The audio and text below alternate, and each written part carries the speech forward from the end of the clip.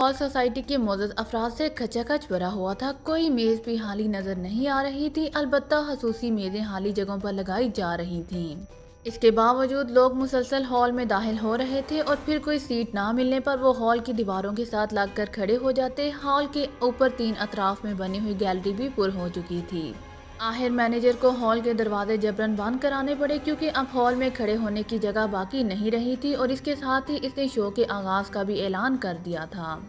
Hotel Shobra में आजकल एक गैर मुल्की ताइफा अपने इलाके के लोक रक्स पेश कर रहा था और ये लोक रक्स इस मुल्क के जंगलों के कबायली रक्सों पर मुश्तमिल थे। इनमें ख़ास बात ये थी कि इस रक्स में शामिल होने वाली औरतें मखसूस कबायली लिबास में शामिल होती थी। ऐसा लिबास जिसका होना या ना होना बराबर था। यही वजह थी कि हर रोज़ होटल में शो देखने वालों का रश पहले से बढ़ता जा रहा था और होटल की चांदी हो रही थी। आज इस ताइफे का आखिरी शो था क्योंकि होटल के साथ इसका माहा ख़त्म हो रहा था। मैनेजर ने मजीद प्रोग्रामों के लिए इस ताइफे के साथ माहा करना चाहा और पहले से कई ज़्यादा मुआवजे की पेशकश की, लेकिन ताइफा की मैनेजर मादाम यूशिया ने मजीद माहा करने से इनकार कर दिया।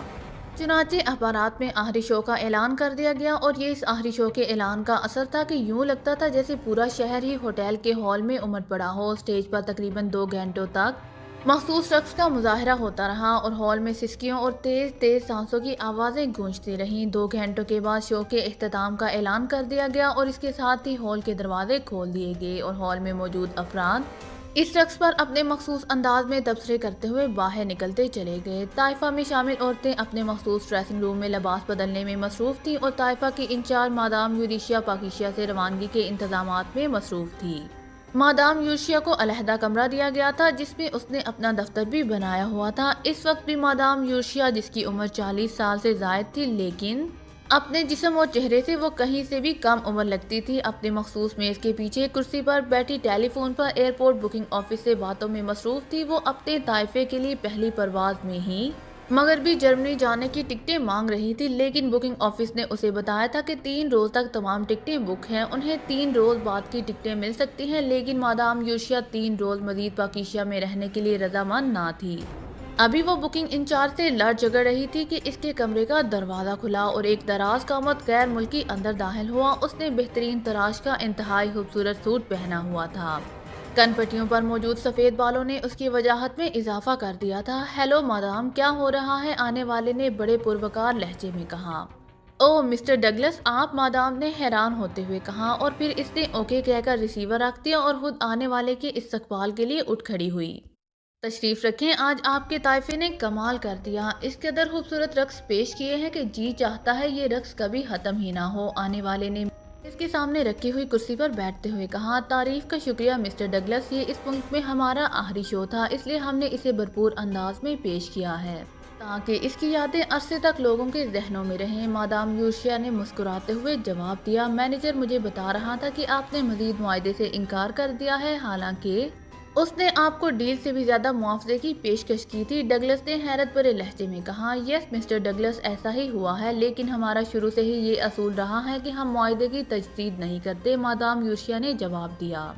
ओ, ठीक है, असूल अच्छी चीज़ है। बहरहाल, एक बात कहूँ, अगर आप बुरा ना माने, डगलस ने मुस्कुराते हुए कहा, आप इस होटल के मालिक हैं, मिस्टर डगलस, और आपका एक पसंदीदा शख्सियत के मालिक हैं, आपकी बात का बुरा मानने का सवाल ही पैदा नहीं होता। फरमाइए, मादाम यूशिया ने मुस्कुराते हुए जवाब दिया, मादाम यूशिया, शो पेश करना आपका पेशा है। अगर मैं आपको ये पेशकश करूँ कि आप मुस्तकिल तौर पर होटल शोबरा से मुंसलिक हो जाएँ, इसके लिए मैं आपको ये ऑफ़र कर सकता हूँ कि इस होटल की मलकियत का निसफ हिस्सा आपके नाम किया जा सकता है। खुले हिस्सों में आप इस होटल के इस हिस्से की मालिक होंगी और आप जानते हैं कि ये निसफ हिस्सा करोड़ों रुपए में है और फिर मुस्तकिल और ग्रां कदर आमने इसके अलावा डगलस ने संजीदा होकर कहा, आपकी पेशकश वाकई इंतहाई फ्राह दलाना है, मिस्टर डगलस, लेकिन वेरी सॉरी मैं ये ऑफ़र कबूल नहीं कर सकती। मादाम यूशिया ने हिचकिचाए बगैर फ़ौरन ही जवाब दिया।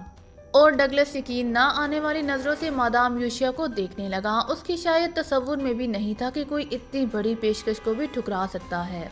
क्या आपने शायद मेरी पेशकश पर गौर नहीं किया? गौर कीजिए, मैं क्या कह रहा हूँ? डगलस ने हैरत भरे लहजे में कहा, आपकी पेशकश मेरे लिए नाकबले कबूल है। मादाम यूशिया ने इस पर कदरे सख्त लहजे में जवाब दिया। मादाम यूशिया, मेरी पेशकश ठुकरा कर आपने मेरी तोहन की है और यकीन करें, मैं इनकार सुनने का आदि नहीं हूँ। इसलिए मैं आखिरी बार कह रहा हूँ कि आप एक बार फिर मेरी पेशकश पर गौर करें। डगलस ने इस पर कदरे तेज लहजे में कहा, उसकी आँखों से भी सफाकी और सर्द महरी सी झलकने लगी थी। ओ वेरी सॉरी मेरा मतलब आप जैसे मोजस आदमी की तोहन हरगिज नहीं थी, अगर आपने इसे तोहीन समझा है तो। मैं उसकी माफ़ी चाहती हूँ, लेकिन मैंने अपनी ज़िंदगी के असूल बनाए हैं और मैं किसी कीमत पर अपने असूल नहीं बदल सकती और यही कामयाबी का राज है, वरना आपसे पहले भी मुख्तलिफ़ ममालिक में हमें ऐसी पेशकश हो चुकी हैं, मादाम यूशिया ने। नरम लहजे में जवाब देते हुए कहा, हैरत है, मैं सोच भी नहीं सकता था कि आप मेरी ये पेशकश ठुकरा देंगी। बहरहाल, आपकी मर्ज़ी, आप कम अज़ कम अपनी मर्ज़ी के मामले में आज़ाद हैं। आपने बहरहाल कल यहाँ से जाना है, आप रात को अच्छी तरह सोच लें। हो सकता है आप अपना फैसला बदल लें। सुबह आपसे मुलाकात होगी, इजाज़त दीजिए, डगलस ने कुर्सी से उठते हुए कहा। शुक्रिया, मिस्टर डगलस। लेकिन बहरहाल सुबह भी जवाब यही होगा, ये मामला असूलों का है। मादाम यूशिया ने कुर्सी से उठते हुए कहा, ठीक है, जैसे आपकी मर्ज़ी। बहरहाल, अब आपका कोई गिला नहीं रहेगा, डगलस ने कदरे सर लहजे में कहा। और फिर तेज तेज कदम उठाता दरवाज़ा खोलकर बाहर निकल गया। डगलस के जाने के बाद मादाम यूशिया दोबारा कुर्सी पर बैठी तो उसके चेहरे पर शदीद परेशानी के आसार नुमाया थे। उसने डगलस के लहजे में छुपी हुई धमकी को वाज तौर पर महसूस किया था, चूँकि वो गार्ड गार्ड का पानी पिए हुए थी, इसलिए उसे मालूम था कि डगलस जैसा आदमी अब ओछे हथियारों पर उतर आएगा, वो चाँद लम्हे सोचती रही। फिर उसने मेज पर पड़ा हुआ रिसीवर उठाया और क्रैडल बार बार दबाने लगी। यस, एक्सचेंज, प्लीज़, दूसरी तरफ़ से आवाज़ सुनाई दी। मैं, मादाम यूशिया बोल रही हूँ, मैनेजर से बात कराइए, मादाम यूशिया ने कहा। बेहतर मादाम होल्ड कीजिए। दूसरी तरफ़ से कहा गया और मादाम खामोश होकर होन काटने लगी। यस, मैनेजर बोल रहा हूँ, फरमाइए मादाम, क्या हुक्म है? चाँद लम्हों बाद मैनेजर की मखसूस आवाज़ रिसीवर में गूंजी। मिस्टर मैनेजर, मैं एयरपोर्ट जाना चाहती हूँ। बुकिंग के सिलसिले में मेरा वहाँ जाना ज़रूरी हो गया है क्योंकि बुकिंग वाले मुझे तीन रोज़ बाद की टिकटें देने पर मुसर हैं, जबकि मैं कल ही रवाना होना चाहती हूँ। क्या आप मेरे लिए कार का इंतज़ाम कर सकते हैं? मादाम यूशिया ने कहा, ओ ज़रूर मादाम, लेकिन अगर आप मैनेजर ने कुछ कहना चाहा सॉरी, मिस्टर मैनेजर मुआदे के बारे में मजीद कोई बात ना करें। I am very sorry madame यूशिया ने इसकी बात काटते हुए कहा। ओके जैसे आपकी मर्ज़ी, बहरहाल आप तशरीफ़ ले आइए। कार गेट पर मौजूद होगी, ड्राइवर आपको पहुँचा देगा, मैनेजर ने जवाब दिया। शुक्रिया मादाम यूशिया ने कहा, और रिसीवर रख कर उसने अपने लिबास पर एक नज़र डाली और फिर तेज तेज कदम उठाती कमरे से बाहर निकल गई। लिफ्ट के ज़रिए हॉल में पहुँचने के बाद वो बैरूनी गेट की तरफ़ बढ़ती चली गई। मेन गेट से बाहर ही एक स्या रंग की कार मौजूद थी।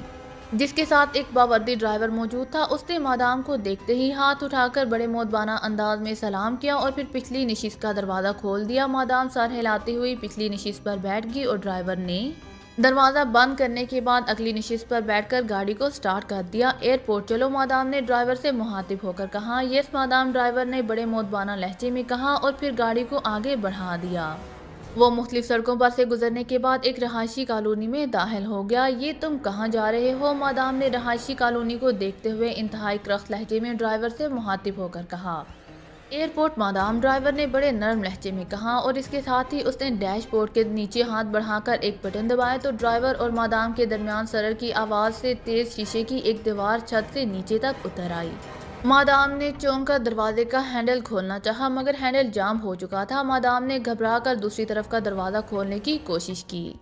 कोशिश फजूल है, मादाम, दोनों दरवाजे जाम हैं। ड्राइवर की आवाज़ उभरी, इसका लहजा मुसीका हेज था, तुम मुझे कहाँ ले जा रहे हो? मादाम ने इंतहाई घबराए हुए लहजे में पूछा।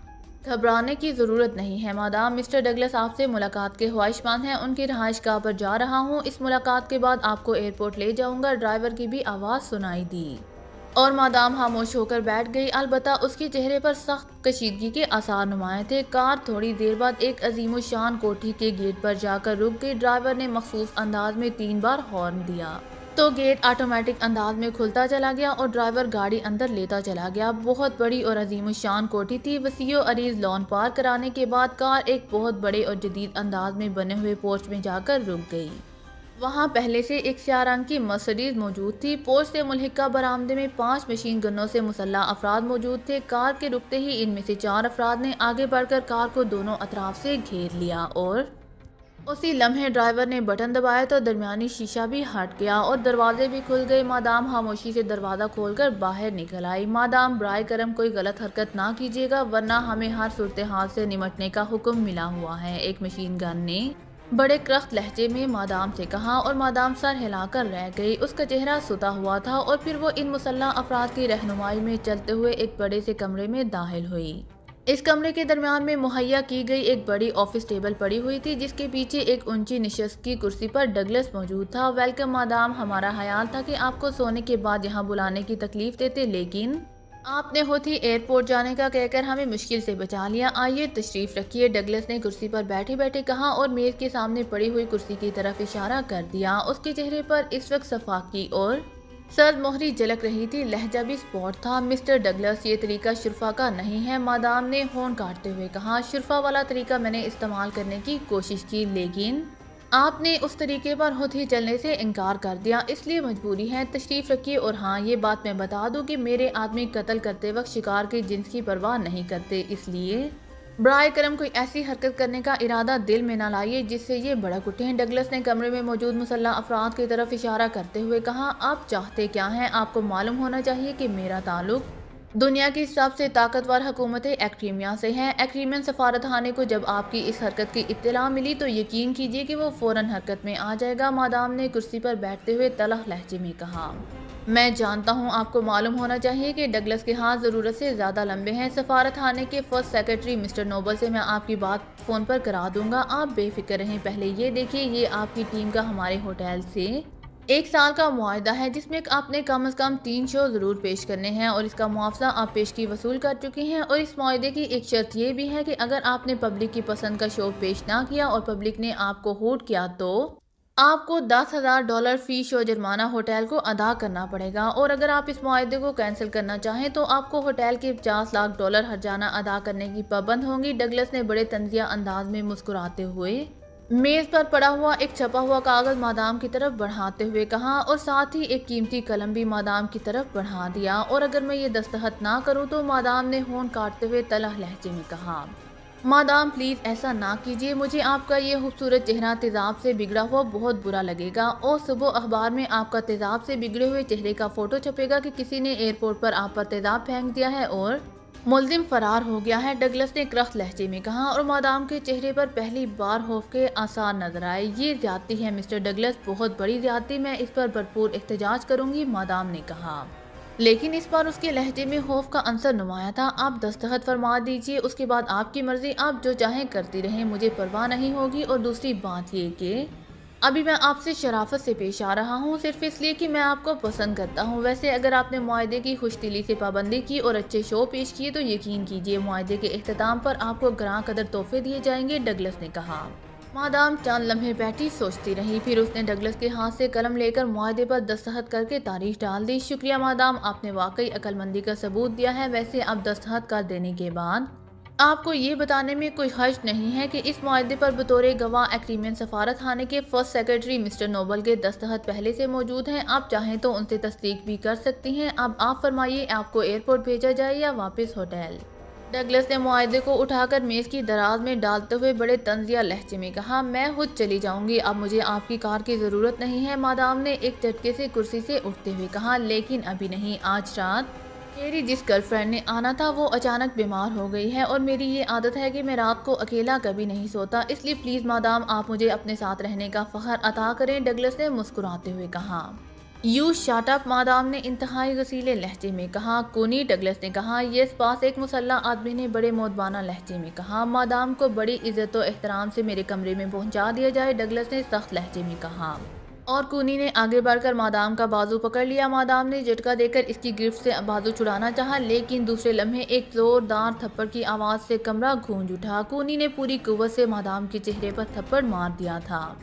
मादाम के हलक से बेख्तियार चीख निकल गई। कुतिया की बच्ची नहरे करती हैं बास ने तुम्हें पसंद कर लिया है, इसलिए अकड़ रही हो, वरना तुम जैसी औरतें तो बास से बात करने के लिए तरसती हैं। कूनी ने मादाम को बाजू से पकड़कर आहिस्ता से दरवाजे की तरफ़ घसीटते हुए कहा, आहिस्ता कोनी, आहिस्ता मादाम, हमारे लिए बायस इज़्ज़त एहतराम है। डगलस ने कहा उसका लहजा बेहद तंदिया था और फिर कोनी मादाम को घसीटता हुआ दरवाजे से बाहर ले गया, जबकि बाकी मुसल्ला अशास इसके पीछे पीछे कमरे से निकल गए। उनके जाने के बाद डगलस ने मेज़ पर पड़ा हुआ टेलीफोन उठाया और तेज़ी से नंबर डाल करने शुरू कर दिए। यस, मैनेजर होटल शोबरा दूसरी तरफ़ से शोबरा होटल के मैनेजर की आवाज़ सुनाई दी।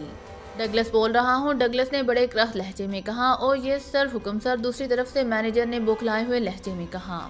मादाम से एक साल के लिए मजीद माहा हो गया है, तुम अखबार में कल के शो का ऐलान कर दो और साथ ही मादाम की साथी लड़कियों को भी इसकी इतला कर दो ताकि वो कल के शो के लिए जहनी तौर पर तैयार हो जाएँ, डगलस ने बड़े बावकार लहजे में कहा। गुड लक बॉस ये तो बहुत ही अच्छा हुआ। मैं अभी ऐलान करा देता हूँ। बॉस मैनेजर ने खुशी से चहकते हुए कहा, और सुनो मादाम मेरे पास ठहर गई हैं। सुबह वो होटल आ जाएँगी। इसलिए उनसे जो भी मिलने आए, उसे टाल देना। डगलस ने हदायत देते हुए कहा। बेहतर बॉस ठीक है बॉस मैनेजर ने जवाब दिया और डगलस ने ओके कहकर रिसीवर रख दिया और फिर वो उठकर खड़ा हो गया। उसके लबों पर हल्की सी मुस्कुराहट तैर रही थी और ये फाथाना मुस्कुराहट थी। Hello hello Thomas calling from पाकिशिया over दूसरी तरफ़ से एक भारी सी आवाज़ उभरी। Yes Prince Charming attending over तवील कामत आदमी ने क्रह लहजे में जवाब देते हुए कहा। एक अहम इतला देना चाहता हूँ। बॉस मादाम यूशिया ने होटल के मालिक के साथ मजीद एक साल का मुआदा कर लिया है। ओवर थॉमस ने कहा, और तवील आदमी ये बात सुनते ही यूँ उछला जैसे कुर्सी में अचानक करंट आ गया हो, क्या बकवास कर रहे हो? ये कैसे हो सकता है? It is impossible over Prince Charming ने यकीन न आने वाले लहजे में कहा, मैं दुरुस्त कह रहा हूँ, बॉस थोड़ी देर पहले होटल का मालिक मिस्टर डगलस मादाम के कमरे में गया। वो थोड़ी देर वहाँ रहा, फिर वहाँ से निकलकर मैनेजर के कमरे में गया और इससे कुछ कहकर वो अपनी कार में बैठकर चला गया। इसके बाद मैनेजर को फ़ोन पर मिस्टर डगलस ने इत्तला दी कि मादाम के साथ मजीद एक साल का मुआदा हो गया है। अखबार में ऐलान करा दो। और एक और बात की मादाम डगलस की कोठी में रात को ठहर गई हैं। सुबह वापस आएँगी, चुनाचे मैनेजर ने फ़ौरन ही अखबार में ऐलान जारी करवा दिया। ओवर थॉमस ने तफसील बताते हुए कहा ओ तुम्हें मालूम है, थॉमस की ऐसा होना नामुमकिन है। मेरा ख्याल है कि मादाम के साथ कोई खेल खेला गया है या फिर ज़बरदस्ती की गई है? ओवर प्रिंस चार्मिंग ने कहा, ज़बरदस्ती का कोई सवाल ही पैदा नहीं होता। बास, मादाम खुद अपनी मर्ज़ी से गई हैं। मैंने अच्छी तरह चेक किया है ओवर. थामस ने जवाब दिया, नहीं, ये नामुमकिन है। मादाम तंजीम से गद्दारी नहीं कर सकती। फिर उसने मतलूबा मालूम हासिल की थी। अब उसके वहाँ रुकने का कोई सवाल ही पैदा नहीं होता। तुम सुबह मादाम से मुलाकात करो और अपने आप को ज़ाहिर कर दो। इसके बाद मुझे कॉल करना ताकि सही सूरत हाल का इल्म हो सके, ओवर प्रिंस चार्मिंग ने कहा। बेहतर बात ओवर दूसरी तरफ़ से थामस ने जवाब दिया। और सुनो, अगर मादाम किसी वजह से वहाँ ठहरने पर मजबूर भी हो तो तुम वो मालूम उनसे हासिल करके फ़ौरन हेडक्वार्टर रवाना कर देना ताकि इसकी रोशनी में चीफ पास आइंदा का प्रोग्राम मुरतब कर सके, ओवर। प्रिंस चार्मिंग ने कहा, ठीक है, बॉस, और कोई हुक्म? ओवर थॉमस ने कहा, ओवर एंड ऑल तवील कामत आदमी ने सख्त लहजे में कहा, इसके साथ ही ट्रांसमीटर का बटन ऑफ़ कर दिया, वो चाँद लम्हे बैठा, सोचता रहा। फिर उसने मेज पर पड़ा हुआ फ़ोन अपनी तरफ़ खिसकाया और इसका रिसीवर उठाकर तेज़ी से नंबर डायल करने शुरू कर दिए। यस, ग्राम स्पीकिंग, रबता कायम होते ही दूसरी तरफ़ से आवाज़ सुनाई दी। ग्राम में प्रिंस चार्मिंग बोल रहा हूँ, फ़ौरन मेरे पास पहुंचो। अभी प्रिंस चार्मिंग ने सख्त लहजे में कहा, यस, बॉस, अभी हाजिर हो जाता हूँ। दूसरी तरफ़ से मोदबाना लहजे में कहा गया और प्रिंस चार्मिंग ने एक चटके से रिसीवर क्रैडल पर डाल दिया। उसके बाद इंटरकाम का एक बटन दबाया। मार्गरेट मिशन हॉट नॉट की फ़ाइल मेरे पास पहुँचा दो। अभी प्रिंस चार्मिंग ने तहकुमाना लहजे में कहा, यस, बॉस, दूसरी तरफ़ से एक नसवानी आवाज़ सुनाई दी। और प्रिंस चार्मिंग ने बटन ऑफ़ करके अपनी कुर्सी से पुश लगा ली। उसके चेहरे पर शदीद उलझन के आसार नुमाया थे। चाँद लम्हों बाद दरवाज़ा खुला और एक खूबसूरत सी लड़की अंदर दाखिल हुई। उसके हाथ में सुर्ख रंग की फ़ाइल मौजूद थी, जो उसने बड़े अदब से प्रिंस चार्मिंग के सामने रख दी और खुद बड़े मोतबाना अंदाज में पीछे हटकर खड़ी हो गई। ग्राम आ रहा है, दो कप कॉफ़ी बना दो, प्रिंस चार्मिंग ने ठहरे हुए लहजे में कहा। और मार्गरेट साथ झुकाती हुई कोने में रखी एक मेज़ की तरफ़ भरती चली गई। इस मेज़ पर कॉफ़ी बनाने का सामान मौजूद था। मार्गरेट ने इलेक्ट्रिक केतली का प्लग लगा दिया और पानी गर्म करने लगी। चाँद लम्हों बाद दरवाज़ा एक बार फिर खुला और एक लंबा तरंगा और हाथ स्मार्ट जिस्म का नौजवान अंदर दाखिल हुआ। उसके चेहरे पर खिलंडराना मुस्कुराहट थी। उसने बड़े मोतबाना अंदाज में प्रिंस चार्मिंग को सलाम किया। बैठो प्रिंस चार्मिंग ने मेज की दूसरी तरफ़ पड़ी हुई कुर्सी की तरफ़ इशारा करते हुए कहा, और आने वाला कुर्सी पर बैठ गया। गो उसका अंदाज मोदबाना था, लेकिन उसके बावजूद हल्की सी बेपरवाही और लाउबालीपन भी ज़ाहिर हो रहा था उसी लम्हे। मार्गरेट ने ट्रे में दो कॉफ़ी के कप रखे और फिर उन्हें लाकर बड़े मोदबाना अंदाज में इन दोनों के सामने रखा और पीछे मुड़कर मेज की तरफ़ चली गई। मुड़ते हुए इसकी नज़रें जब ग्राम से मिली तो ग्राम ने हल्के से एक आँख का कोना दबा दिया और मार्गरेट के चेहरे पर हल्की सी मुस्कुराहट दौड़ गई। तुम जाओ मार्गरेट, प्रिंस चार्मिंग ने मार्गरेट से मुहातिब होकर कहा और मार्गरेट सलाम करके वापस दरवाजे की तरफ़ मुड़ गई। चंद लम्हों बाद वो दरवाज़ा खोलकर बाहर निकल गई। कॉफ़ी पियो ग्राम, प्रिंस चार्मिंग ने स्पॉट लहजे में सामने बैठे हुए ग्राम से मुहातिब होकर कहा और खुद कॉफ़ी का कप उठा लिया। शुक्रिया बास ग्राम ने सर झुकाते हुए कहा। और अपने सामने पड़े हुए कॉफ़ी के कप को उठा लिया। तुम्हें मिशन हॉट नोट का इल्म है, ग्राम प्रिंस चार्मिंग ने कॉफ़ी का घूंट लेते हुए ग्राम से पूछा, mission hot note? No sir, मुझे ऐसे किसी मिशन का इल्म नहीं है, ग्राम ने हैरत भरे लहजे में जवाब देते हुए कहा, ये फ़ाइल देखो, प्रिंस चार्मिंग ने उसे अपने सामने पड़ी हुई फ़ाइल उठाकर ग्राम की तरफ़ बढ़ाते हुए कहा और ग्राम ने फ़ाइल लेकर उसे खोला और फिर कॉफ़ी की चिस्कियाँ लेने के साथ साथ उसके मुताले में मसरूफ़ हो गया। फ़ाइल में चार टाइप शुदा कागज़ से ग्राम इनका मुताल करता रहा, फिर उसने एक तवील सांस लेते हुए फ़ाइल बंद कर दी। इस फ़ाइल में तो कोई तफसीर मौजूद नहीं है। सर, सिर्फ़ इतना लिखा हुआ है कि पाकिस्तान के साइंसदानों ने एक ऐसा फार्मूला ईजाद किया है जिसकी मदद से आम पानी को एक ऐसे महलूल में तब्दील किया जा सकता है जो ताकत का नेमुल बदल हो सकता है और ये फार्मूला अभी तजर्बाती मराहल में है। ग्राम ने कॉफ़ी का हाली कप एक तरफ़ रखते हुए कहा हाँ यही बात है और सुनो, हमें इंतहाई खुफिया जराए से इस फार्मूले के मुतलिक एक इत्तला मिली थी। ये एक ऐसा फार्मूला है जो पूरी दुनिया में इंकलाब ला सकता है, जहाँ तक हमें मालूम हासिल हुई है। इस फार्मूले की ईजाद के बाद हलाई तस्वीर इंतहाई तेज़ रफ्तारी से आगे बढ़ सकती है। ये महलूल ऐसी ताकत रखता है कि इसकी मामूली सी मकदार बड़े बड़े हवाई जहाज़ों को करोड़ों नूरी साल तक पूरी कुत और रफ्तार से आगे बढ़ा सकता है। अब पूरी दुनिया में जो हलाई दौड़ जारी है, इसमें सबसे ज़्यादा अखराज इस बात पर आते हैं कि इन हवाई जहाज़ों को चलाने के लिए जो महलूल और गैस इस्तेमाल की जाती है, वो इंतहाई ग्रां है और उसे ज़्यादा से ज़्यादा इतनी मकदार में इस्तेमाल किया जा सकता है कि हवाई जहाज़ को ज़मीन के मदार से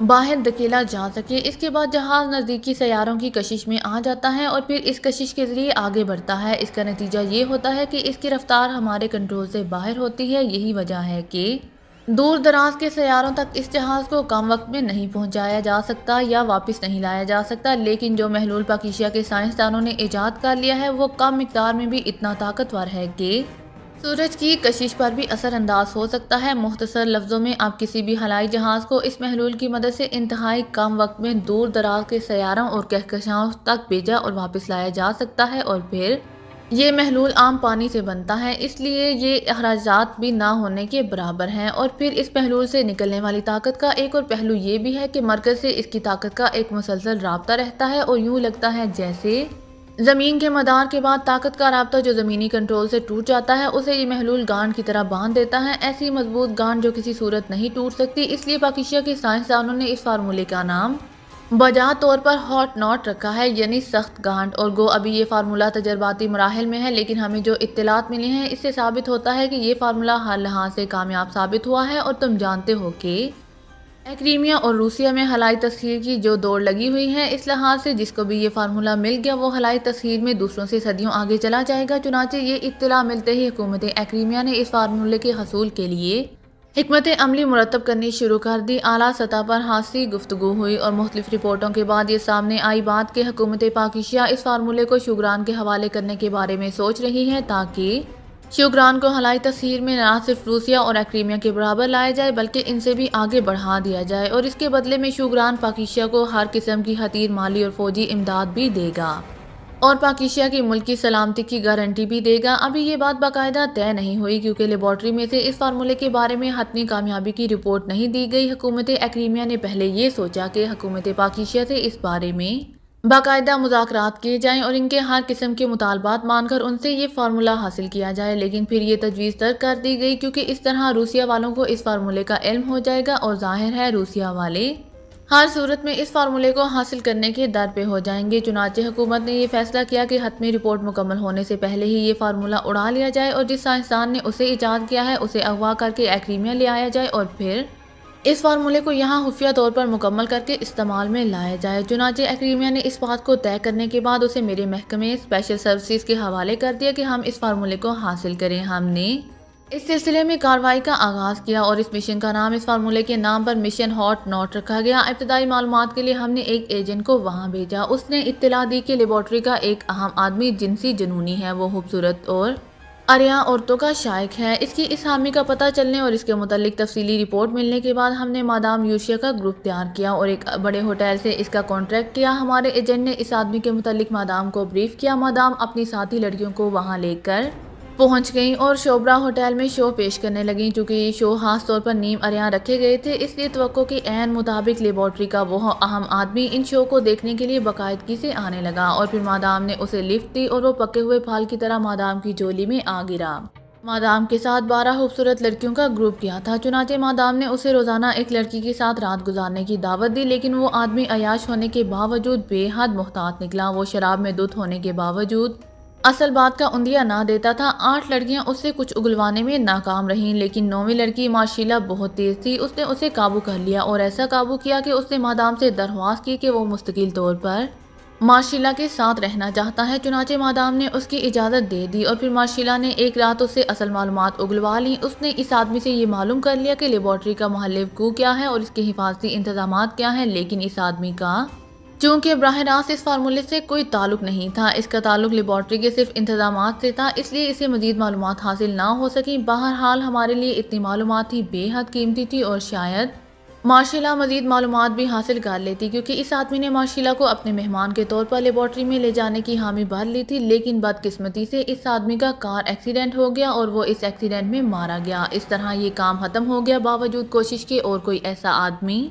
ट्रेस ना किया जा सका जो इसके बाद की मालूम दे सकता। इसलिए हमने मादाम यूशिया को वापस आने का कह दिया, क्योंकि हमारे एजेंट ने रिपोर्ट दे दी थी कि इस एक्सीडेंट की वजह से सेंट्रल इंटेलिजेंस ने इस आदमी के बारे में तहकीकात शुरू कर दी थी, क्योंकि एक्सीडेंट के वक्त इस आदमी के साथ शहर की एक बदनाम तवाइफ भी थी, जो इस एक्सीडेंट में मारी गई, क्योंकि लेबॉर्ट्री के असूल के मुताबिक लेबॉर्ट्री के किसी आदमी का किसी भी बैरूनी औरत से रबता नहीं हो सकता था, और फिर ये दायरा जब वसी हुआ तो मादाम यूशिया ने भी मालूम हासिल करनी शुरू कर दी। गो मादाम यूशिया ने ऐसे किसी आदमी से वाकफे से इनकार कर दिया था, लेकिन हमारे एजेंट की रिपोर्ट के मुताबिक इंटेलिजेंस ने मादाम यूशिया की बात पर मुकम्मल तौर पर यकीन न किया और अपने तौर पर तफ्तीश करनी शुरू कर दी। इसलिए बेहतर यही समझा गया कि मादाम यूशिया और इसकी साथी लड़कियों को फौरी तौर पर वापस बुला लिया जाए, ताकि कहीं ये मालूम ना हो जाए कि इस आदमी ने लेबॉर्ट्री के मुतल कोई मालूम मुहैया की हैं। इसका नतीजा ये होता कि लेबॉर्ट्री का हिफाजती निज़ाम फौरी तौर पर बदल दिया जाता और साथ ही हुकूमत के दूसरे महकमे भी चौकन्ना हो जाते। खास तौर पर हमें वहाँ की सीक्रेट सर्विस से शदीद खतरा है क्योंकि पाकिस्तान सीक्रेट सर्विस इंतहाई खौफनाक कारकर्दगी की मालिक है। लेकिन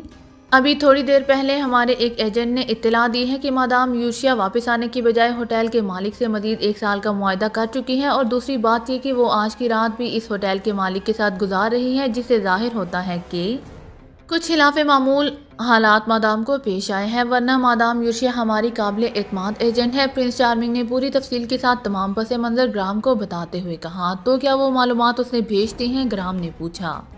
नहीं चूँकि पाकिस्तान की सीक्रेट सर्विस से खतरा है कि वह इन मालूम के बारे में आगाह ना हो जाए। इसलिए ये बात तय की गई थी कि इन मालूम को ना ही किसी कागज़ पर मुंतकिल किया जाएगा और ना ही ट्रांसमीटर पर यहाँ मुंतकिल किया जाएगा, बल्कि मादाम यूशिया का ग्रुप जब वहाँ से आएगा तो फिर उनसे ये बरह रास्त मालूम हासिल की जाएँगी। प्रिंस चार्मिंग ने जवाब दिया, इसके बाद आपने क्या लायामल तय किया था? ग्राम ने पूछा, मेरा प्रोग्राम ये था कि इन मालूम के हासिल होने के बाद मैं तुम्हारे ग्रुप को वहाँ भेजूँगा ताकि तुम इन मालूम की रोशनी में इस फार्मूले को हासिल करो और इस साइंसदान को भी अगवा करके ले आओ, क्योंकि तुम इन कामों में माहिर हो। लेकिन हमारे एजेंट की मौजूदा इतला के मुताबिक कोई नामालूम गड़बड़ हो गई है, इसलिए मैंने तुम्हें बुलाया है कि तुम अपने ग्रुप को लेकर फ़ौरन पाकिशिया पहुंचो और फिर मादाम यूशिया और मार्शिला से मिलकर इनसे बरह रास्त मालूम हासिल कर लो और इसके बाद कार्रवाई का आगाज़ कर दो, प्रिंस चार्मिंग ने कहा। ठीक है, मैं तैयार हूँ। पाकिशिया वैसे एक पसमानदा मुल्क है, ज़ाहिर है। हम वहाँ आसानी से कामयाब हो जाएँगे, ग्राम ने लापरवाह से लहजे में कहा। तुम्हारी बात दुरुस्त है, लेकिन मैं वाजह तौर पर तुम्हें एक हदायत देना चाहता हूँ कि वहाँ जाकर तुमने इस अंदाज में काम करना है कि पाकिशिया की सीक्रेट सर्विस को तुम्हारे मुतलिक कतन इल्म नहीं होना चाहिए और ख़ास तौर पर वहाँ एक शख्स अली इमरान है जो सीक्रेट सर्विस के लिए काम करता है। बज़ाहिर अहमक और मासूम सा मसखरा दिखाई देता है, लेकिन वो दुनिया का शातिर तरीन इंसान है, तुमने इसके साय से भी बचना है, वरना? तुम्हारा स्पेशल ग्रुप यकीनन नाकाम हो जाएगा और तुम्हारी नाकामी का मतलब स्पेशल सर्विसेज़ की नाकामी होगी, जो नाकाबले बर्दाश्त होगी। प्रिंस चार्मिंग ने संजीदा लहजे में कहा, बास, आप ग्राम की सलाहियतों की तोहन कर रहे हैं दुनिया में?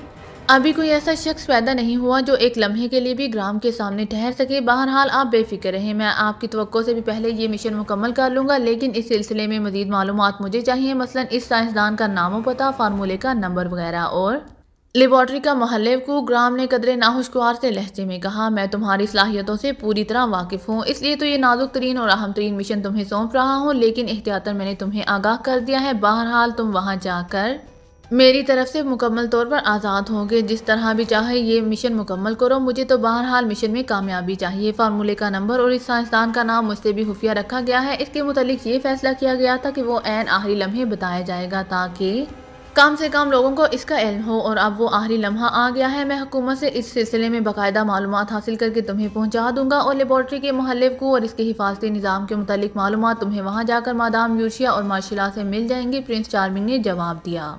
ओके, ये मालूम मुझे कब मिल जाएँगी ताकि मैं उसी लिहाज से अपनी तैयारी कर सकूँ? ग्राम ने सर हिलाते हुए कहा, एक घंटे बाद इन मालूम की कोड फ़ाइल तुम्हारे हेडक्वार्टर पहुँच जाएगी। इसके साथ ही वो पासवर्ड भी, जिसके ज़रिए तुमने मादाम यूशिया और मार्शिला से मालूम हासिल करनी है, मजीद।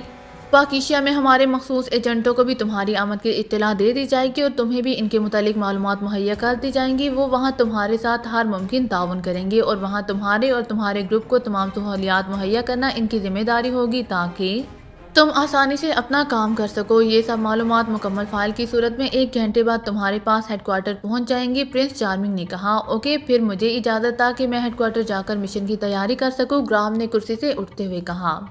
हाँ तुम जा सकते हो, लेकिन मुझसे स्पेशल ट्रांसमीटर पर मुसलसल रबता रखना है। ज़ीरो कोड में ये ज़रूरी है, प्रिंस चार्मिंग ने कहा। ठीक है, मैं ज़रूरी इकदाम और मिशन के आगे बढ़ने की रफ्तार से आपको आगाह करता रहूँगा, ग्राम ने जवाब दिया।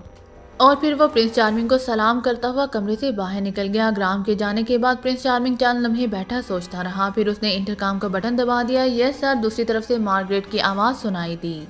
मेरे कमरे में आओ, प्रिंस चार्मिंग ने कहा और इंटरकॉम का बटन ऑफ़ कर दिया। चंद लम्हों बाद मार्गरेट दरवाज़ा खोलकर कमरे में दाखिल हुई। तो मार्गरेट, ग्राम से तुम्हारे ताल्लुकात कैसे हैं? प्रिंस चार्मिंग ने संजीदा लहजे में कहा। वो मुझ पर एतमाद करता है। बॉस मार्गरेट ने जवाब दिया।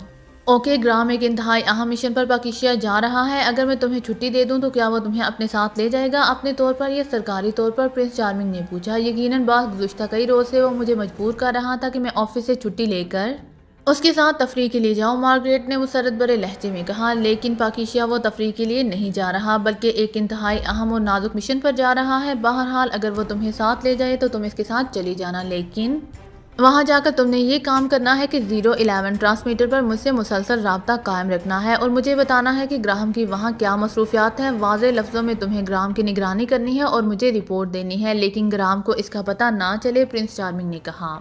मैं समझ गई, बॉस, ऐसा ही होगा। आप बेफिक्र रहें, मार्गरेट ने बातमाद लहजे में कहा, लेकिन तुम्हें किसी सूरत में भी ग्राम के काम में कोई मुदाखलत नहीं करनी और ना ही उसे कोई मशवरा देना है। इस बात का खास तौर पर ख्याल रखना और अगर ग्राम तुम्हें साथ ना ले जाए तो फिर मुझे बताना।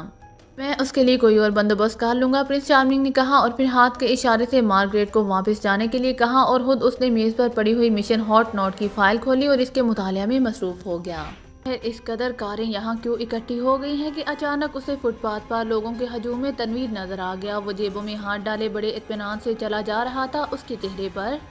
बेपनाह मुसरत और खुशी के आसार नुमाया थे। ऐसे जैसे उसने कोई इंतहाई दिलचस्प और मुसरत आमेज तमाशा देख लिया हो। तनवीर अजी हज़रत तनवीर साहब इमरान ने कार की खिड़की से सर निकाल कर ज़ोर से तनवीर को आवाज़ दी और फिर उसने तनवीर को चौंकते हुए देखा। दूसरे लम्हे उसकी नज़रें इमरान पर पड़ी तो वो तेज़ी से कार की तरफ़ बढ़ता चला गया। उसने फ्रंट सीट वाला दरवाज़ा खोला और सीट पर बैठ गया।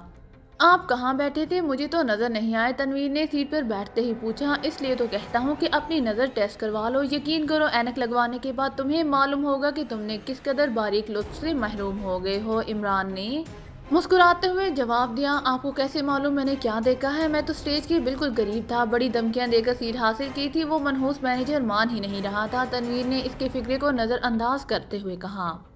और उसी लम्हे इमरान के जहन में सारी बात रोशन हो गई। उसने अखबार में, होटल शोबरा में होने वाले एक शो के बारे में पढ़ा था, जिसे गैर मुल्की ताइफा पेश कर रहा था। और ये सारी भीड़ होटल शोबरा के सामने ही थी। अच्छा फिर तो तुम मज़े में रहे। मुझे तो दूर कोने में जगह मिली। मुझे तो वो यूँ लग रही थी जैसे बूढ़ी खूसट इमरान ने बड़े मायूस से लहजे में सर हिलाते हुए कहा, हालाँकि उसने शो देखा तक नहीं था। अरे, मुझे बताना था, मैं इस मनहूस मैनेजर की गर्दन दाब कर उससे दूसरी सीट हासिल कर लेता। फिर मज़ा आता आपको रक्स देखने का। एक एक अंग नज़र आ रहा था। तनवीर ने चठारे लेते हुए कहा और इमरान समझ गया कि ये रक्स यकीनन नीम अरिया किस्म का होगा, इसलिए तनवीर इससे पूरी तरह महफूज हो रहा था। जूलिया को भी साथ ले आना था। इमरान ने कहा, मैंने उसे कहा था, लेकिन वो तो बिल्कुल ही नेक परवीन बन गई है। तनवीर ने बुरा सा मुँह बनाते हुए कहा, नेक परवीन ना बने तो और क्या करे? सोचो तो सही, उसकी कितनी उम्र हो गई है और अभी तक कमारी बैठी हुई है। आहे तुम कब तक इंतज़ार करोगे? जब उसके जज्बात मुर्दा हो जाएँगे, वो बूढ़ी हो जाएगी। इमरान ने कार को आगे बढ़ाते हुए कहा, क्योंकि अब ट्रैफ़िक लॉक खत्म हो चुका था और कार के बढ़ने का रास्ता बन चुका था। क्या मतलब मैं समझा नहीं? तनवीर ने चौंकते हुए कहा, उसकी आँखों में हैरत के आसार थे। अच्छा अभी तक तुम्हें मतलब ही समझ में नहीं आया, यार। अब तुम इतने भी बच्चे ना बनो, आप संजीदा हो जाओ। इमरान ने उसे पचकारते हुए कहा, यानी आप मुझे कह रहे हैं, तनवीर के चेहरे पर अभी तक हैरत के आसार मौजूद थे। तो और किससे कहूँ, वो बुढ़ा एक्स टू तो बस सवाए बातें करने की और कुछ नहीं कर सकता। तुम? तो जवान आदमी हो अच्छा खासा कमाते हो ठीक ठाक आदमी हो, जूलिया को और क्या चाहिए? इमरान ने जवाब दिया, आप मज़ाक कर रहे हैं, जूलिया से इस बारे में इशारा भी करो तो काटने को दौड़ती है, तनवीर ने मुँह बनाते हुए जवाब दिया। तुम बस इशारे ही करते रहते हो, कभी खुलकर बात करो, आखिर ये कोई जुर्म तो नहीं, और वैसे भी सयाने कहते हैं कि जिस कार में बीवी हो, वहाँ पत्थर आते ही रहते हैं, वो मुझसे कई बार इशारे ही इशारे में कह चुकी है कि तनवीर संजीदा ही नहीं होता, इमरान ने उसे और ज़्यादा चिढ़ाते हुए कहा, इमरान को मालूम था कि इस वक्त नीमरिया शो देखने के बाद तनवीर को डब पर लाया जा सकता था। अच्छा ये बात है तो ठीक है, मैं उससे बात कर लेता हूँ, लेकिन एक्स टू इस शादी की इजाज़त दे देगा, तनवीर ने कहा। अरे यार, आखिर हम किस मर्ज की दवा हैं? एक्स टू की फ़िक्र ना किया करो, मैं उसे संभाल लूँगा। बस तुम हिम्मत करो, वो क्या कहते हैं? जब मियाँ बीवी राज़ी तो क्या करेगा काजी? इमरान ने बड़े पुरयकीन लहजे में कहा। लेकिन कहीं ये तुम्हारा मज़ाक ना हो, सुनो इमरान, अगर ऐसा हुआ तो याद रखना, मैं दांतों से तुम्हारी गर्दन उधेड़ दूँगा, तनवीर ने मशकूक लहजे में कहा, क्योंकि आज तक वो इमरान को ही अपना रकीब समझता आ रहा था और आज इमरान खुद उससे ये बात कर रहा था। गर्दन की फ़िक्र ना करो, उधेड़ भी दोगे तो रफुगर बहुत मिल जाएँगे। वैसे एक बात बताओ, इतने बड़े मामले में मज़ाक मुमकिन है? आखिर शादी ब्याह का मसला है, कोई गुड्डे गुड़िया का खेल तो नहीं? अरे हाँ ऐसा ना हो कि तुम कोई ऐसी बात कर जाओ जो जूलिया को बुरी लगे, वो वैसे भी बूढ़ी कमारी होने की वजह से चिड़चिड़ी होती जा रही है। क्यों ना सफ्तर और कैप्टन शकील को साथ ले लें और फिर हम सब मिलकर जूलिया से बात करें तुम बस हाँ में सर हिला देना, इमरान ने मौजू बदलते हुए कहा। मुझे क्या एतराज़ हो सकता है? लेकिन तनवीर अब पूरी तरह ट्रांस में आ गया था। अलबत्ता अभी तक शायद उसे इमरान की बात पर यकीन नहीं आ रहा था कि वो ये सब कुछ संजीदगी से कह रहा है या मज़ाक है। लेकिन बेकिन कुछ नहीं, बस जोरदार वलीमा खिलाना पड़ेगा। हाँ कंजूसी बिल्कुल नहीं चलेगी, इमरान ने कहा और तनवीर का चेहरा गुलनार हो गया। ऐसा वैसा वलीमा, अरे मैं इस कदर शानदार दावत दूँगा कि पूरा शहर पागल हो जाएगा, तनवीर ने चमकते हुए कहा। और इमरान ने मुस्कुराते हुए कार को एक पब्लिक फ़ोन बोत की तरफ़ मोड़ दिया। तुम बैठो, मैं सफ्तर और कैप्टन शकील को बुला लो, इमरान ने दरवाज़ा खोलकर नीचे उतरते हुए कहा और फिर थोड़ी देर बाद वो फ़ोन बोत से निकलकर वापस आ गया। वो दोनों आ रहे हैं, मैंने अभी बताया नहीं है। यहाँ आएँगे तो बात होगी। इमरान ने संजीदा लहजे में कहा, उसी लम्हे उसकी नज़रें एक बहुत बड़े स्टोर पर पड़ गईं। अरे तनवीर, मुझे तो ख्याल ही नहीं रहा। कमाल है, तुम भी। हाली हाथ वहाँ पहुँचते तो कितनी सबकी होती। अंगूठी खरीद लो जो जूलिया को पहनानी है, ताकि बात पक्की हो जाए। बाद में एक्सट्रो से बात करके शादी की तारीख रख लेंगे, इमरान ने संजीदा लहजे में कहा। ले लूँ, तनवीर ने उम्मीद भरे लहजे में कहा हाँ हाँ आओ मेरे साथ, मुझे जूलिया की पसंद का इल्म है। इमरान ने सर हिलाते हुए कहा और फिर वो तनवीर को साथ लिए, स्टोर की तरफ़ बढ़ता चला गया चंद लम्हों बाद। वो ज्वेलरी के काउंटर के सामने खड़े थे। इमरान ने शो केस में मौजूद एक इंतहाई कीमती अंगूठी की तरफ़ इशारा किया, जिस पर एक खूबसूरत और कीमती हीरा जुड़ा हुआ था। ये अंगूठी दिखाइए, इमरान ने सेल्समैन से मुहातिब होकर कहा। बेहतर जनाब, वैसे आपकी पसंद खूब है। ये हमारे स्टोर की सबसे खूबसूरत और कीमती अंगूठी है। सेल्समैन ने बड़े कारोबारी अंदाज में मुस्कुराते हुए कहा, एक लम्हे के लिए इमरान की ज़ुबान फिसलने लगी, लेकिन फिर उसने अपने आप को कंट्रोल कर लिया, क्योंकि उसे खतरा था कि कहीं तनवीर का मूड खराब ना हो जाए। इमरान ने अंगूठी को हाथ में लेकर उसे गौर से देखा, हीरा वाकई असली और बेदाग था। फिर उसने अंगूठी तनवीर की तरफ़ बढ़ा दी, देखो कैसी है, इमरान ने कहा। अच्छी है, लेकिन तनवीर ने कदरें हिचकिचाते हुए कहा, ऐसे मौक़ों पर कंजूसी अच्छी नहीं होती, शगुन अच्छा नहीं होता। इमरान ने ज़ोर देकर कहा, वो तनवीर की आदत अच्छी तरह जानता था कि तनवीर पैसे हर्ष करने के मामले में कंजूसी की हद तक कफ़ायत शाह और वाक़ हुआ था। क्या कीमत है इसकी? इमरान ने सेल्समैन से पूछा और सेल्समैन ने डिबिया के साथ मुंसलिक चिट पढ़ते हुए कहा, सिर्फ़ दो लाख रुपए जनाब सेल्समैन का लहजा ऐसा था जैसे वो दो रुपए कह रहा हो। ये सेल्समैनशिप की मखसूस नफ्सियात थी कि गाहक को बाहरी कीमत बताते हुए लहजा ऐसा रखा जाए कि उसे घराने का एहसास ही ना हो। दो लाख नहीं, तनवीर ने बुरी तरह चौंकते हुए कहा, मगर इमरान ने जल्दी से उसका हाथ दबा दिया। ठीक है, पैक कर दो। इमरान ने अंगूठी सेल्समैन की तरफ़ बढ़ाते हुए कहा, मगर मेरे पास इतना कैश, तनवीर ने एक बार फिर एहतजाज करते हुए कहा, अरे कमाल है, प्रिंस तनवीर चेक हर जगह चलता है, निकालो चेकबुक, इमरान ने कहा। और तनवीर अब मजबूर हो गया। उसने मरे मरे हाथों से जेब में हाथ डाला और फिर चेकबुक बाहर निकाल। ली इमरान साहब, जी, बहुत बड़ी रकम है मेरी, कई सालों की बचत। तनवीर ने एक बार फिर एहतजाज करने की कोशिश की। बस, चुप बदशगुनी ना करो, खुश होकर चेक काटो। इमरान ने उसे टोकते हुए कहा और तनवीर ने चेक काट कर दस्तखत तो कर दिए, लेकिन उसका अंदाज ऐसा था जैसे वो अपनी फांसी पर दस्तखत कर रहा हो। मुझे उम्मीद है आप बुरा नहीं मानेंगे, अगर हम अभी बैंक से तस्दीक कर लें। सेल्समैन ने मुस्कुराते हुए कहा, बिल्कुल कर लो भाई। इमरान ने फ़ौरन कहा और सेल्समैन अंगूठी का पैकेट और चेक उठाए। पिछले कमरे की तरफ़ बढ़ता चला गया। इमरान साहब, दो लाख रुपए क्या इससे? कम कीमत में अंगूठी नहीं आ सकती थी। तनवीर अभी तक बड़बड़ा रहा था। उसके तस्वुर में भी नहीं था कि वो इस तरह इतनी बड़ी रकम गंवा बैठेगा। कमाल है शादी करने चले हो जूलिया से और सोच रहे हो कि कम कीमत अंगूठी खरीदने का हिम्मत करो यार। देखो, वाओ भाई कितना बड़ा है, मज़े आ जाएँगे। इमरान ने मुँह बनाते हुए कहा और जूलिया का नाम सुनकर तनवीर का चेहरा बहाल हो गया। ठीक है जनाब, हमने तस्दीक कर ली है। जनाब, ये लीजिए, सेल्समैन ने मोतबाना अंदाज में अंगूठी का पैकेट और रसीद इमरान की तरफ़ बढ़ाते हुए कहा और इमरान ने अंगूठी का पैकेट लेकर अपनी जेब में रखा, जबकि रसीद उसने तनवीर की तरफ़ बढ़ा दी। ये मैं एन वक्त पर तुम्हें दूँगा। तुम इसे जूलिया को पेश कर देना, इमरान ने कहा, और फिर वो वापस मुड़ गया। तनवीर ने होन काटते हुए रसीद को देखा और फिर उसे जेब में रख लिया। रसीद पर लिखी हुई दो लाख की रकम ने उसका मूड एक बार फिर ऑफ़ कर दिया था। जब वो स्टोर से निकलकर फ़ोन बहुत के करीब पहुँचे, जहाँ इमरान की कार मौजूद थी तो उन्होंने कैप्टन शकील और सफदर को वहाँ मौजूद देखा। सफदर की कार भी साथ ही मौजूद थी। वो दोनों शायद इस कार में आए थे। अरे! आज आप दोनों इकट्ठे कैसे नज़र आ रहे हैं? हैरियत हो सफदर ने मुस्कुराते हुए कहा यार सफदर आखिर कब तक हम अपने साथियों के जज्बात को नज़रअंदाज करते रहेंगे। आज मैंने फैसला कर लिया है कि तनवीर के सिलसिले में जूलिया से खुलकर बात की जाए और इस पर दबाव डालकर बात पक्की कर ली जाए। शादी बाद में होती रहेगी। इमरान ने सफ्तर को मखसूस अंदाज में आँख मारते हुए कहा और सफदर बेख्तियार मुस्कुरा दिया। वो समझ गया कि आज तनवीर की शामत आ गई है। Very good very good. ये तो बहुत बड़ी खुशखबरी है, सफदर ने चहकते हुए कहा और कैप्टन शकील भी बेख्तियार मुस्कुरा दिया। तनवीर ने जूलिया को पहनाने के लिए अंगूठी भी खरीद ली है और यार मोहब्बत देखो, स्टोर की सबसे महँगी अंगूठी पसंद आई है मेरे यार को, तनवीर। रसीद होगी ना तुम्हारे पास? दिखाना ज़रा, इमरान ने कहा और तनवीर ने रसीद जेब से निकाल कर सफ्तर की तरफ़ बढ़ा दी। दो लाख रुपए की अंगूठी, वाह, बड़ी किस्मत है जूलिया की। वेरी गुड सफ्तर ने तहसीन आमीर लहजे में कहा और तनवीर का बुझा हुआ चेहरा खिल उठा। अगर अंगूठी दो लाख की है तो वलीमा तो फिर जोरदार होगा, कैप्टन शील ने हँसते हुए कहा। अरे, ऐसा वैसा, तनवीर कह रहा है कि ऐसा वलीमा दूँगा कि सारा शहर पागल हो जाएगा, क्यों? तनवीर इमरान ने कहा और तनवीर ने सर हिला दिया।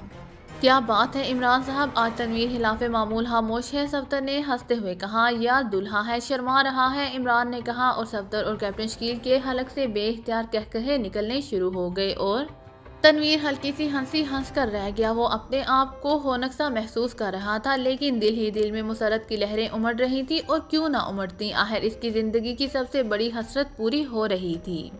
और फिर सारा ये काफिला दोनों कारों में लद कर जूलिया के फ्लैट की तरफ़ बढ़ता चला गया। डगलस अपनी हुआब गाँव का दरवाज़ा खोलकर अंदर दाखिल हुआ तो उसने मादाम यूशिया को एक कुर्सी पर बैठे हुए देखा। मशीन गनों से मुसल्ला अफराद उसके इर्द गिर्द बड़े चौकन्ना अंदाज में खड़े थे, जबकि मादाम यूशिया कुर्सी पर बैठी होन काट रही थी। उसके एक गाल पर कूनी के थप्पड़ की वजह से उंगलियों के निशान उभर आए थे। इसकी तलाशी ले ली है, कोई हथियार वगैरह तो मौजूद नहीं है। डगलस ने कूनी से मुहातिब होकर कहा, कुछ नहीं है, बॉस, कूनी ने मुदबाना लहजे में जवाब दिया। ठीक है, तुम लोग बाहर ठहरोगे। हो सकता है कि मुझे तुम्हारी ज़रूरत पड़ जाए। डगलस ने मुस्कुराते हुए कहा, आप बेफिक्र रहें, बास। अब अगर इसने कोई हरकत की तो मैं इसकी हड्डियाँ तोड़ डालूँगा। कूनी ने सख्त लहजे में कहा, और फिर वो सब तेज तेज कदम उठाते कमरे से बाहर चले गए। दरवाजे को बाहर से बंद कर लिया गया। मुझे अफसोस है, मादाम यूशिया, की मुझे इस किस्म के सलूक पर मजबूर होना पड़ा। वैसे यकीन रखो, मैं ज़ाती तौर पर बुरा आदमी नहीं हूँ। अब छोड़ो गुस्से को और आओ, कुछ पीते पिलाते हैं। डगलस ने एक अलमारी की तरफ़ बढ़ते हुए कहा, लेकिन मादाम यूशिया ने कुछ नहीं कहा। वो खामोश बैठी रही, अलबत्ता उसके चेहरे पर खिंचाव के असाब और बढ़ गए थे। डगलस ने अलमारी से शराब की एक बोतल और दो जाम निकाले और उन्हें लेकर वो एक मेज की तरफ़ बढ़ा। अब गुस्सा थूक तो जाने मान। डगलस ने शराब को जाम में डालते हुए कहा, तुम्हारा ताल्लुक किस तंजीम से है? मादाम यूशिया ने पहली बार ज़ुबान खोलते हुए कहा, उसका लहजा बेहद सर्द था। तंजीम से क्या मतलब? कैसी तंजीम? डगलस ने चौंक कर मुड़ते हुए कहा, उसके चेहरे पर हैरत के आसार उभर आए थे। ये मुसल्ला अफराद बताते हैं कि तुम सिर्फ़ सरमायादार और कारोबारी आदमी नहीं हो, तुम्हारा ताल्लुक किसी तंजीम से है या फिर किसी मुजरिम तंजीम या हकूमती तंजीम से? मादाम यूशिया ने सर लहजे में कहा, ओ मादाम, ऐसी कोई बात नहीं। मेरा किसी तंजीम से कोई ताल्लुक नहीं, बस शौक की बात है। डगलस ने मुस्कुराते हुए जवाब दिया। अगर तुम मुझे बता दो तो तुम्हारे हक में ये बेहतर साबित होगा, वरना हो सकता है कि बाद में तुम्हें पछताने का भी मौका ना मिले, मादाम यूशिया ने तल्फ लहजे में कहा। ओ, इसका मतलब है कि तुम भी सिर्फ़ एक आम से ताइफे की मैनेजर नहीं हो, तुम्हारी जड़ें बहुत गहरी हैं, डगलस ने इस बार क्रख लहजे में कहा। उसकी पेशानी पर शिकने उभर आई थी, तुम जो मर्ज़ी समझ लो, लेकिन मुझे बता दो कि तुम दरअसल कौन हो ताकि मैं इसको सामने रखकर तुम्हारी किस्मत का फैसला करूँ? मादाम यूशिया ने स्पॉट लहजे में कहा, ओ तो ये इरादे हैं। वैसे मादाम, अगर तुम्हारा ताल्लुक वाकई किसी तंजीम से है तो उसे भूल जाओ इस मुल्क में। ऐसी कोई तंजीम नहीं है जो डगलस पर हाथ डाल सके। मैं तो सिर्फ़ तुम्हें रात गुजारने के लिए लाया हूँ और बास डगलस ने जवाब दिया, मगर दूसरे लम्हे वो बुरी तरह चौंक पड़ा, जब उसने मादाम के हाथ में एक छोटा सा रिवॉल्वर देखा जिसकी नाल का रुख ज़ाहिर है, उसी की तरफ़ ही था। डगलस के हाथ से जाम गिर गया और कालीन पर गिरकर टूटने से तो बच गया। अलबत्ता इसमें भरी हुई शराब कालीन पर बहने लगी। ये रिवॉल्वर ये कहाँ से आ गया कुनी तो कह रहा था। डगलस ने हैरत की शिद्दत से हकलाते हुए कहा, जिस जगह ये रिवॉल्वर मौजूद था, वहाँ कुनी का हाथ ना पहुँच सकता था। और ये भी बता दूँ कि ये रिवॉल्वर शोर नहीं मचाता, इसलिए कोई गलत हरकत ना करना, मादाम यूशिया ने काट खाने वाले लहजे में कहा। तात तुम मुझे गोली न मारना, तुम जो कहोगी वही होगा। डगलस ने हकलाते हुए कहा। उसके चेहरे पर शदीद खौफ के आसार नुमाया हो गए थे। उसके दिमाग पर सवार सारी बदमस्ती हवा हो गई थी और फाथाना अंदाज में कमरे में दाखिल होने वाला। अब किसी खौफजदा चूहे की तरह नज़र आने लगा था और उसका ये अंदाज देखकर मादाम यूशिया को यकीन आ गया कि डगलस का ताल्लुक किसी तंजीम से नहीं हो सकता। वो बस एक आम सा अयाश आदमी है, वरना वो एक रिवॉल्वर को देखकर इस कदर खौफजदा ना होता। फ़ोन करके वो मुआदा मंगवाओ, जल्दी और सुनो, बाद में जो होगा होता रहेगा, लेकिन रिवॉल्वर की गोली बहरहाल तुम्हारे दिल में घुस जाएगी, मादाम यूशिया ने इंतहाई सख्त लहजे में कहा। इस वक्त उसका चेहरा भूखी शेरनी की तरह नज़र आ रहा था और डगलस सोच रहा था कि वो किस मुसीबत में फंस गया। उसने तो उसे एक आम सी तोाइफ समझ लिया था, लेकिन ये तो कोई खतरनाक औरत निकली। बहरहाल वो तेज़ी से मेज पर रखे हुए टेलीफोन की तरफ़ बढ़ा और उसने रिसीवर उठाकर एक बटन दबा दिया। मादाम यूशिया उठकर उसके साथ आकर खड़ी हो गई थी। उसने रिवॉल्वर की नाल डगलस की गर्दन से लगा रखी थी। डगलस ने रिसीवर कान से लगा लिया। हेलो रॉजर स्पीकिंग दूसरी तरफ़ से एक आवाज़ उभरी। राजर मैं डगलस बोल रहा हूँ स्टडी रूम में मेरी मेज की पहली दराज में कॉन्ट्रैक्ट फॉर्म पड़ा हुआ है। वो उठाकर मुझे ख्वाबगाह में पहुँचा दो। डगलस ने तेज लहजे में कहा और फिर उसने रिसीवर रख दिया। तब तक तुम मुझे गोली ना मारो। तुम जो कहोगी वही होगा डगलस ने खौफसदा लहजे में कहा। सुनो, जब रॉजर कॉन्ट्रैक्ट लेकर आए तो इसके मुआदा दरवाजे में ही ले लेना, उसे अंदर मत आने देना, वरना मैं एक लम्हे में ट्रैगर दबा दूँगी, मादाम ने गराते हुए कहा, और डगलस ने अस्पात में सर हिला दिया, वो बार बार थूक निकल रहा था और होंठों पर ज़ुबान फेर रहा था। उसकी नज़रें रिवॉल्वर की नाल पर जमी हुई थी और चेहरे पर शदीद खौफ के आसार नुमाया थे। उसी लम्हे दरवाजे पर दस्तक हुई और डगलस चौंक पड़ा, उसने मादाम यूशिया की तरफ़ देखा। चलो, उससे कॉन्ट्रैक्ट ले लो, मादाम, यूशिया ने कहा और डगलस तेज तेज कदम उठाता दरवाजे की तरफ़ बढ़ता चला गया। मादाम उसके साथ थी कॉन्ट्रैक्ट लेकर आए हो डगलस ने दरवाजे के करीब पहुंचकर कहा यस पास दूसरी तरफ़ से रॉजर की आवाज़ सुनाई दी। मुझे दरवाजे में से ही दे दो, डगलस ने कहा और दूसरे लम्हे दरवाज़ा खुला और दरवाजे से रॉजर नज़र आया। इसके पीछे कूनी था। कूनी के चेहरे पर हैरत के तासुरात थे। मादाम एक साइड में हो गई थी। डगलस ने कॉन्ट्रैक्ट रॉजर के हाथ से ले लिया। बॉस कोई गड़बड़ तो नहीं। रॉजर के पीछे खड़े हुए कुनी ने ऊँची आवाज़ में पूछा, नहीं, डगलस ने कहा और फिर दरवाज़ा बंद करके उसने इस पर चटनी चढ़ा दी। तुम्हारी जेब में लाइटर होगा, मादाम ने पूछा। हाँ है, निकाल लो, मैं सिगरेट पीना चाहता हूँ, डगलस ने हकलाते हुए कहा। हाँ निकालो, मादाम ने क्रख लहजे में कहा और डगलस ने जेब में हाथ डालकर लाइटर और सिगरेट का पैकेट निकाल लिया। चलो बाथरूम में और वहाँ जाकर इस माहे को आग लगा दो। मादाम ने रिवॉल्वर की नाल से बाथरूम की तरफ़ इशारा करते हुए कहा और डगलस किसी फर्मा बरदार बच्चे की तरह बाथरूम की तरफ़ बढ़ता चला गया। मादाम उसके पीछे थी। बाथरूम में जाकर डगलस ने लाइटर की मदद से कॉन्ट्रैक्ट को आग लगाई और फिर जब कागज़ पूरी तरह जल गया तो इसकी राख फ्लैश में बहा दी और मादाम के चेहरे पर इतमान के आसार उभर आए। अब क्या करोगी? डगलस ने थूक निकलते हुए कहा, सुनो, एयरपोर्ट फ़ोन करो और हमारी टीम की सीटें पहली फ़्लाइट में बुक कराओ, मगर भी जर्मनी के लिए, मादाम ने डगलस से मुहातिब होकर कहा। ठीक है, मैं राजर को कह देता हूँ, वो करा देगा। डगलस ने कहा और एक बार फिर रिसीवर उठाकर उसने राजर को हदायत देना शुरू कर दी। अब और क्या करना है? डगलस ने खौफजदा से लहजे में कहा। अब टिकटों का इंतज़ार करना है, मादाम ने स्पॉट लहजे में जवाब देते हुए कहा और फिर उसे एक कुर्सी पर बैठने का इशारा किया और खुद सामने वाली कुर्सी पर बैठ गई। रिवॉल्वर बदस्तूर उसके हाथ में था। मम मादाम, एक बात पूछू? डगलस ने चाँद लम्हों की खामोशी के बाद पूछा हाँ पूछो, क्या पूछना चाहते हो? मादाम ने स्पॉट लहजे में कहा। तुम तुम्हारा ताल्लुक किस तंजीम से है? डगलस ने कहा, किसी तंजीम से नहीं, मैं खुद एक तंजीम हूँ, मादाम ने जवाब दिया। और मतलब ये हुआ कि तुम इस तंजीम की इंचार्ज हो, मगर तुम और तुम्हारी टीम तो रक्स करती है, फिर ये कैसी तंजीम हुई? डगलस ने हकलाते हुए कहा, तुम्हें इस दुनिया में सिर्फ़ रुपया कमाने और अयाशी करने से मतलब है? तुम्हें क्या मालूम कि दुनिया में क्या हो रहा है? जो लोग खुद रक्स करते हैं, वो दूसरों को भी रक्स कराने पर कादिर होते हैं, समझे? मादाम ने तंजिया लहजे में कहा। ओ इसका मतलब है कि रक्स के आड़ में कुछ और होता है? ठीक है, मैं समझ गया। बहरहाल, मेरा क्या जो मर्ज़ी आए करो, बस मुझे गोली न मारना, डगलस ने अहमकों की तरह सर हिलाते हुए कहा। अगर तुम इसी तरह मेरा हुक्म मानते रहे तो? अपनी ज़िंदगी बचा लोगे, वरना मादाम ने क्रह लहजे में कहा। वैसे मादाम, अब मैं सोच रहा हूँ कि तुम इसलिए वापस जाने पर मुसर थी और इतनी बड़ी ऑफ़र भी तुमने ठुकरा दी। तुम्हारा मिशन और था और ज़ाहिर है वो मिशन मुकम्मल हो गया होगा, वरना तुम खुद ही कॉन्ट्रैक्ट बढ़वा लेती डगलस ने कहा, अब तुम समझदारी की बातें करने लगे हो। मादाम ने पहली बार मुस्कुराते हुए कहा माम मगर यहाँ के कस्टम वाले बहुत सख्त हैं, वो तुम्हारे मिशन की फ़िल्म को चेक कर लेंगे डगलस ने कहा। फ़िल्म को? कैसी फ़िल्म मदाम ने चौंकते हुए पूछा, अरे, ज़ाहिर है तुमने अपने मिशन की फ़िल्म बनाई होगी किसी को दिखाने के लिए। मैंने जितनी फ़िल्में देखी हैं, इनमें ऐसा ही होता है कि कोई फार्मूला चुराया जाता है और फिर इसको फ़िल्म बनाकर साथ ले जाते हैं डगलस ने बच्चों के अंदाज में कहा। अगर आपको मेरी वीडियो पसंद आए तो please like, share and subscribe करना मत भूलिएगा। जजाकल्ला